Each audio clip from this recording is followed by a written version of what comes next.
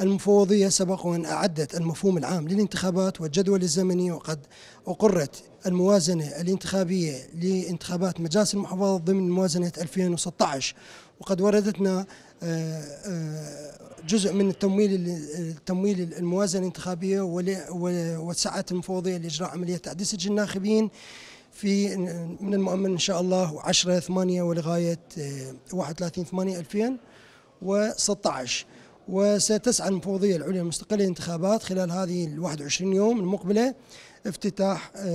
906 آه، مركز في معظم المحافظات باستثناء محافظات إقليم كردستان التي هي غير مشمولة بانتخابات مجالس المحافظات غير آه، منتظمة بإقليم. وبخصوص المحافظات الأمنية آه، لدينا الآن نحن في انتظار تقييمات أمنية من القيادات العسكرية فيما يخص محافظة الأنبار وجزء من محافظة صلاح الدين وجزء من محافظة كركوك ومحافظة نينوى بالكامل. نحن في انتظار هذه التقييمات الأمنية التي سنة لنا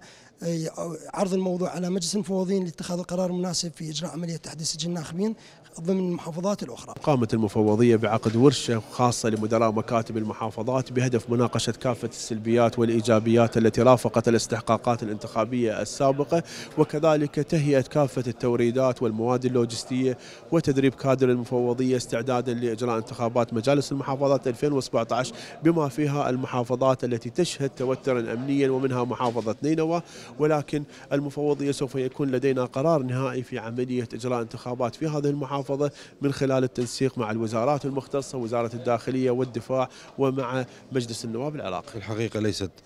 آه، استعدادات للانتخابات. هي المرحلة الأولى من الانتخابات هي عملية تحديث سجل الناخبين التي آه، ستفتح أبواب مراكز التسجيل في 10 8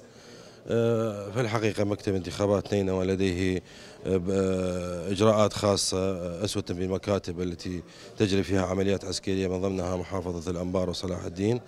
وجزء من كركوك. هناك بعض مراكز تسجيل يجري الآن العمل فيها مع تخطيط مع قيادة العمليات لإكمال كافة الإجراءات الأمنية ننتظر قرار مجلس المفوضين في عملية فتح تلك المراكز ومن بعدها آه، سنلتحق مع باقي آه، مع باقي مكاتب المحافظات. حقيقة هذا المؤتمر مؤتمر هام آه، حيث من خلاله التقى كافة مدراء العامون لمحافظات البلاد باللقاء مع السادة